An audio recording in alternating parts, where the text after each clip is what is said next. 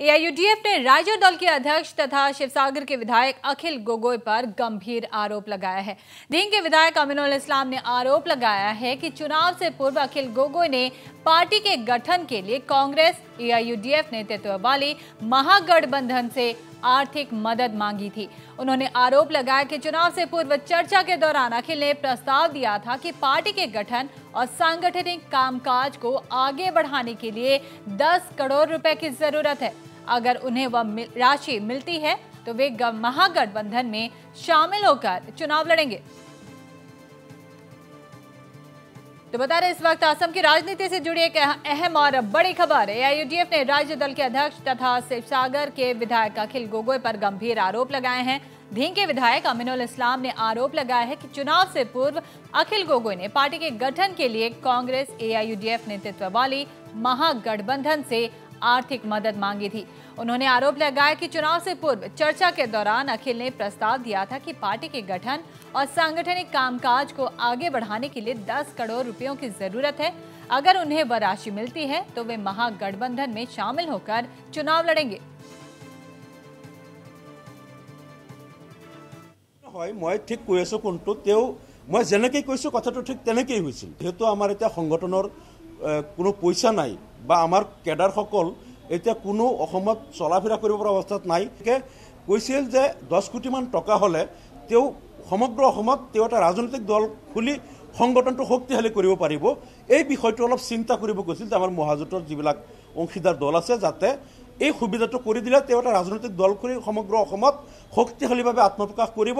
আৰু তেওঁ মহাজোঁটত চামিল হৈ নিৰ্বাচনত বিজেপিক পৰাভূত কৰিব। মানে এই কথাখিনি আলোচনা হৈছে। वहीं उन्होंने आरोप लगाया कि पैसे नहीं देने की वजह से ही अखिल गोगोई एआईयूडीएफ को सांप्रदायिक पार्टी बताकर महागठबंधन में शामिल नहीं हुए हैं আমাৰ প্ৰতিনিধিও জি এম চি এছত গৈ তেওঁ সাক্ষাৎ কৰিছে তেওঁ ছেম কথাটো কৈছিল আমাৰ যিহেতু ইমান টকা দিয়াৰ কেপাচিটি নাই টকাটো দিয়া হোৱা নাছিল টকাটো নাই টকা দিয়া হোৱা নাছিল আৰু হয়তো সেইটোও হ'ব পাৰে যে তাৰপিছত দুদিন পিছত তেওঁ পাল্টি মাৰিলে যে মই মহাজোঁটত নাথাকোঁ কাৰণ এ ইউ ডি এফ সাম্প্ৰদায়িক দল আৰু তাৰপিছত তেওঁ মানে মহাজোঁটৰ বিৰুদ্ধে নিৰ্বাচন কৰিলে আৰু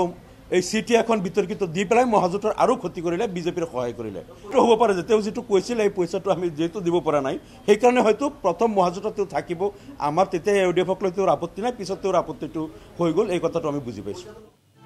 और वहीं आमिनुल इस्लाम ने आगे कहा कि महागठबंधन के कारण कांग्रेस को ऊपरी असम में जो फायदा होने वाला था अखिल गोगोई के पलटी मारने से नुकसान हुआ जिसका फायदा भाजपा को हुआ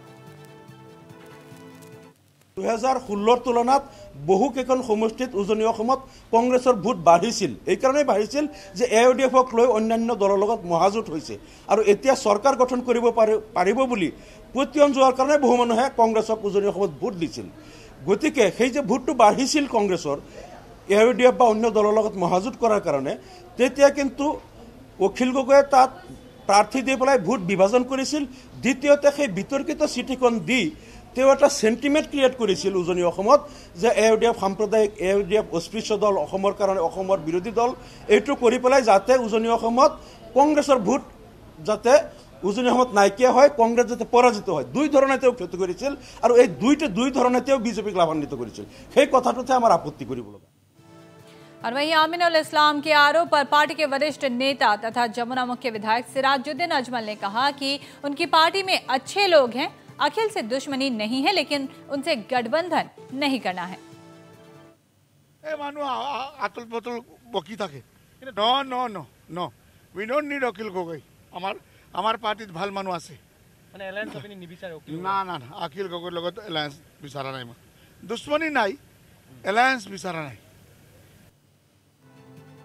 उधर अमीनुल इस्लाम के आरोप पर अखिल गोगोई ने तीखी प्रतिक्रिया दी है अखिल ने अमीनुल को एक ठग करार दिया এটা প্ৰশ্ন সোধো আপুনি কৌশলৰ অহাটোৰ ওপৰত আমি ল'ম বাৰু তেখেতৰ পৰা আমিনুল ইছলামে কালি এটা বক্তব্য ৰাখিছে এটা টিভি চেনেলত আপুনি চাগে শুনিছে যে নিৰ্বাচনৰ পূৰ্বে আপুনি কিবা টকা বিচৰাৰ কথাটো এইটো কিমান দূৰ সত্য সেইকাৰণে আপুনি আপুনি আপুনি আপুনি যিজন মানুহৰ নাম কৈছে তেওঁ এজন ফাকলাণ্ডো হা এজন ফ্ৰড সাম্প্ৰদায়িক কেছত জেললৈ যোৱা মানুহ। আৰু আপোনালোকেতো অসমৰ ৰাজনীতি দেখি আছে ন? এই ৰাজনীতিত আজিৰ দিনটোৰ যিটো ৰাজনীতি চলি আছে তাত আমাৰ নিচিনাকৈ সততা ৰক্ষা কৰা কোনোবা ৰাজনীতিক আছে নেকি বাৰু? গতিকে যিবিলাক মানুহে মোৰ বিৰুদ্ধে এই অভিযোগ আনে আৰু যিবিলাকে সেই অভিযোগক ডাঙৰ কৰি দিব খোজে মই ভাবোঁ যে তাত এটা ৰাজনৈতিক চক্ৰান্ত সদায় লুকাই থাকে। আৰু সেইকাৰণে মই নাভাবোঁ যে এই প্ৰশ্নটোৰ মই উত্তৰ দিব লাগে। সেইকাৰণে মই প্ৰশ্নটোত নোসোমোৱাকৈ আপোনালোকক ক'লোঁ যে এজন ফাকলাণ্ডু বুলি গাঁৱলীয়া ভাষাত যিটো কয় আৰু আপোনাৰ এজন প্ৰবঞ্চকৰ কোনো প্ৰশ্নৰ উত্তৰ মোৰ দিবলগীয়া একো নাথাকে।